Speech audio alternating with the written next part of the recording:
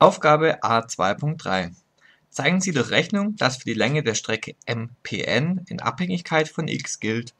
MPN ist gleich Wurzel aus x minus 13,09x plus 84,09 cm. Wir wissen, die Punkte Pn liegen auf der Strecke Bs. Das war vorher unser P1. Ich benenne jetzt einfach mal als Pn, um es sich besser vorzustellen. Wir brauchen die Strecke MPN also diese hier. Schauen wir mal nach, ob es ein Dreieck gibt, wo uns viele Strecken oder Winkel sogar bekannt sind. Ähm, schauen wir mal das Dreieck MF1PN an, beziehungsweise jetzt MFN.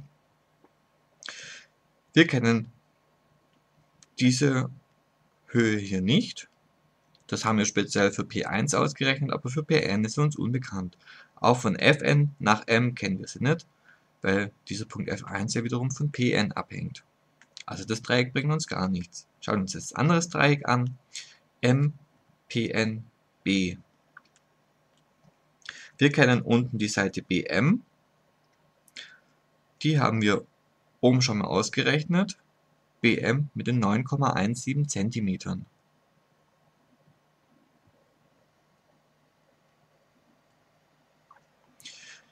Wir kennen den Abstand von Pn zu B, nämlich das sind die x Zentimeter. Für die vorherige Aufgabe war x gleich 4, das heißt vorhin waren es 4 cm. Was kennen wir noch? Diesen Winkel hier. Den hatten wir auch schon mal ausgerechnet und zwar mit 44,46 Grad.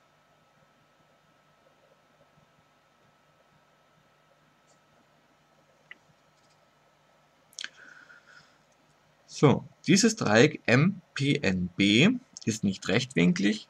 Das heißt, wenn wir eine Strecke oder einen Winkel berechnen wollen, müssen wir schauen, ob der Sinussatz oder der Cosinussatz dafür funktioniert.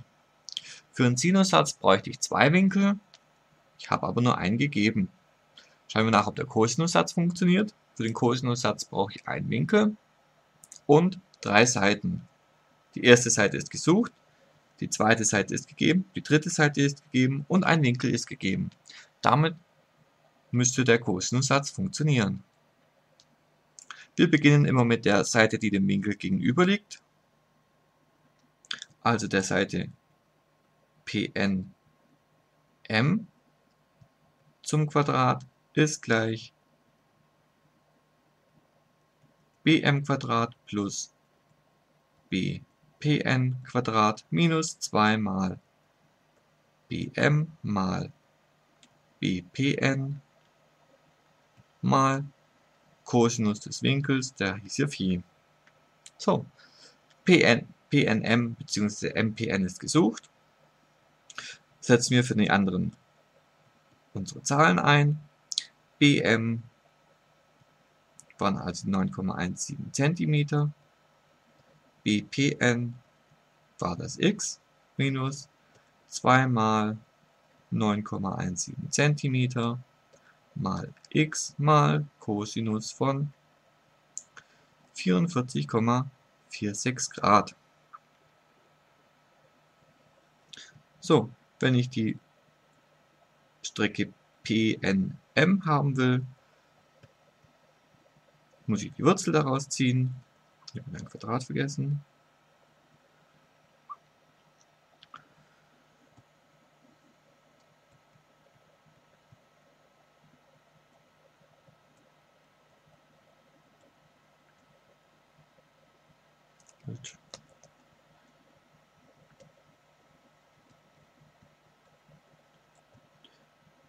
Weil ich jetzt auch noch aufpassen muss, sind x Zentimeter zum Quadrat und auch hier x Zentimeter.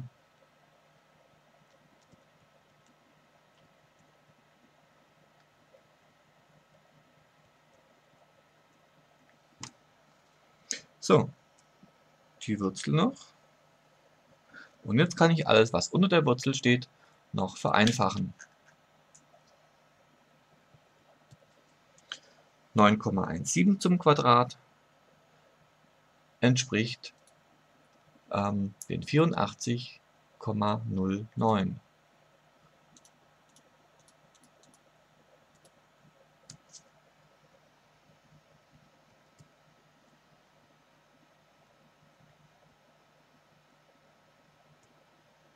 Quadratzentimeter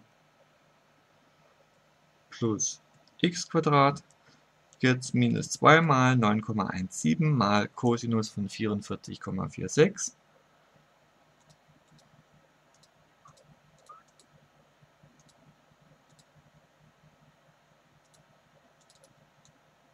müsste den 13,09 entsprechen.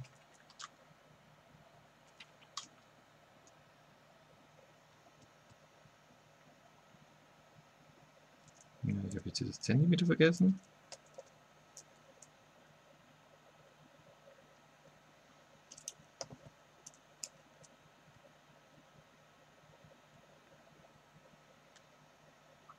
Dreizehn Komma null neun mal Zentimeter mal x Zentimeter. Ja.